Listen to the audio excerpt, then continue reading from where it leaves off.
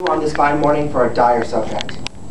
No man thinks higher than I of politeness and eti- etiquette and comfort level. Today, I come to speak of flatulence. Air biscuits, as they are called, are known are natural function of our God-given bodies. Should it be in bad taste for us to let one loose in the middle of a conversation around others? I dream of a time when I can cut the cheese without having to leave the room or conversation.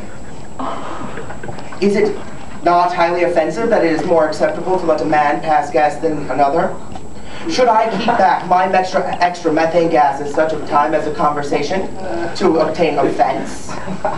I say nay, for a person who has dealt it, regardless if someone has smelt it, like a child receiving a new toy. Do I deceive you? Me?